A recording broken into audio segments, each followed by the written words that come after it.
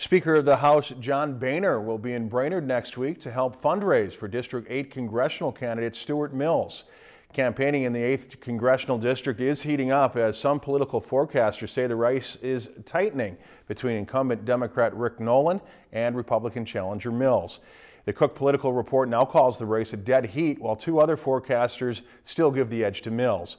Boehner will be at Grandview Lodge in Nisswa on Thursday to help Mills raise money for his campaign.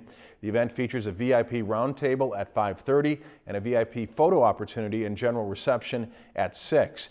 Mills campaign manager Mike Lukic told Lakeland News in an email today that, that the Boehner event is not open to the media. If you've enjoyed this segment of Lakeland News, please consider making a tax-deductible contribution to Lakeland Public Television.